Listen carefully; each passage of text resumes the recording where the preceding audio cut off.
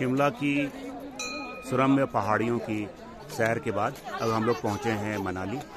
मनाली के माता हिडिम्बा मंदिर के सीढ़ियों पर मैं ये खड़ा इस मंदिर की दर्शन का अभिलाषी। और जैसा कि सभी जानते हैं कि इस मंदिर की अपनी ऐतिहासिक और पौराणिक दोनों किस्म की मान्यताएँ हैं। इस मंदिर में ही उत्कीर्ण एक टांकरी लिपि के अभिलेख से पता चलता है कि इस मंदिर की स्थापना पंद्रह सौ तिरपन ईस्वी में कुल्लू के महाराज राजा बहादुर सिंह के द्वारा की गई थी। ये पैगोडा स्टाइल का मंदिर अपने आप में कई तरह की काष्ठ शिल्पीय और पुरातात्विक मान्यताओं और संरचनाओं और विशेषताओं को लेकर चलता है।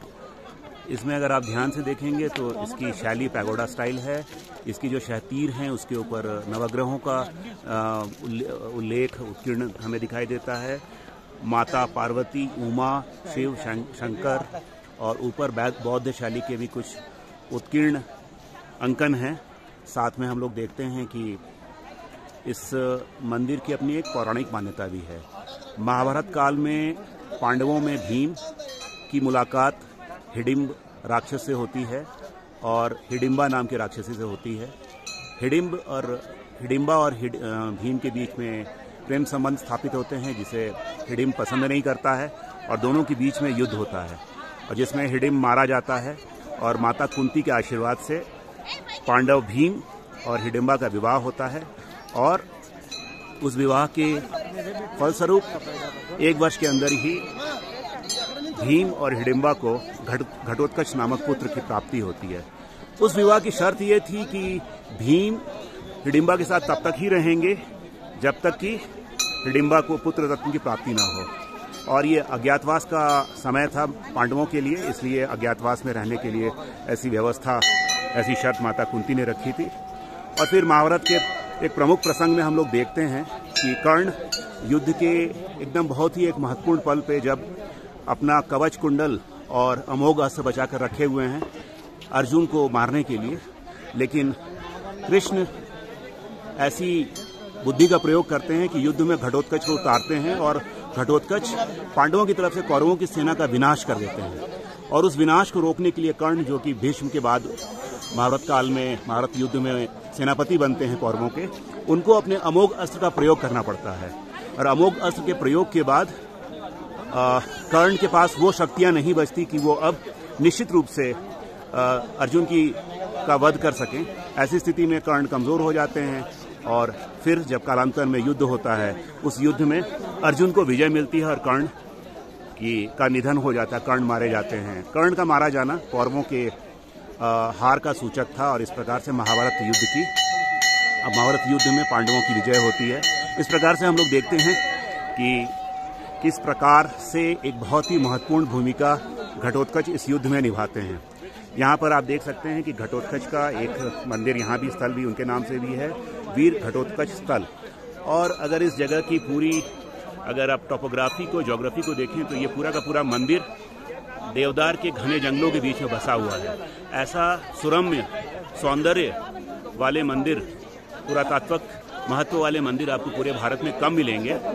और इस मंदिर के विषय में कालांतर में हम लोग ये भी देखते हैं कि हिडिम्बा माता बाद में अपनी राक्षसी प्रवृत्ति त्याग कर आ, बहुत लंबे समय तक इसी क्षेत्र में उपवास रखती हैं और बाद में विहंगमणि माल नामक राजा को गद्दी पर बैठाती हैं कुल्लू के।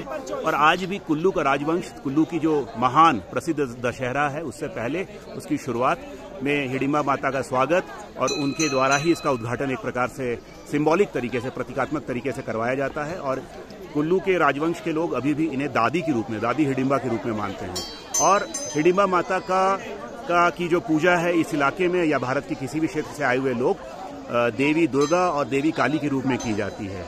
आप फिर से देख सकते हैं देवदार की ये घने वन, जिनके बीच में ये सुंदर सुरम्य मंदिर, और आप देख सकते हैं सैलानियों की भीड़ अभी ये सिर्फ़ 10 मई का दिन है और अभी स्कूल्स बंद नहीं हुए हैं फिर भी इतनी भीड़ है और ये अपने आप में एक बहुत ही महत्वपूर्ण टूरिस्ट स्पॉट है मनाली का जहाँ पर ये एक मस्ट विज़िट है किसी भी सैलानी के लिए। और आप लोग देख सकते हैं ये काष्ठ निर्मित ये मंदिर जिसमें बहुत सारे ऐसे सिंबल्स हैं प्रतीक प्रतीक हैं जो हमारे धर्म के आ, उस विचार को एक तरह से परिपुष्ट करते हैं स्थापित करते हैं कि हमारे देश में, हमारे संस्कृति में, किसी भी रूप में, मानव, नर, किन्नर, गंधर्व, नाग, राक्षस, किसी के भी, किसी भी रूप की पूजा की जा सकती है। उसमें अगर सात्विक गुणों का वास हो तो यानी कि पैंथीज्म का इससे सुंदर एग्ज़ाम्पल इससे सुंदर उदाहरण पूरी दुनिया में नहीं मिलेगा। और आज हिडिम्बा माता के चरणों में मैंने अपनी मैंने अपना प्रणाम अर्पित किया और इस मंदिर में आने का जो मुझे सौभाग्य मिला, उसके लिए ईश्वर का बहुत बहुत धन्यवाद। आप सभी से अनुरोध रहेगा कि जब भी मनाली आएँ, इस मंदिर की सैर, इस मंदिर में ज़रूर माथा टेकने आए और माता से आशीर्वाद लें। एक बार फिर इस वीडियो को ख़त्म करने से पहले मैं आपको इन देवदार के जंगलों को, इन देवदार के ऊँचे पेड़ों को, दैत्याकार पेड़ों को दिखाना चाहूँगा और इस मंदिर की जो सौंदर्य की जो सौष्ठव है, उसको आप देख सकते हैं। इसकी खूबसूरती को आप देख सकते हैं। मंदिर का एक बड़ा हिस्सा लकड़ी से बना हुआ है और पैगोडा स्टाइल का मंदिर है। एक तरह से इसमें बुद्धिस्ट इन्फ्लुएंस भी हमें नज़र आता है। तो इस प्रकार से ये एक तरह से इक्लेक्टिक आर्किटेक्चरल स्टाइल का एक ज़बरदस्त नमूना है। इसी के साथ आज के लिए इतना ही। धन्यवाद।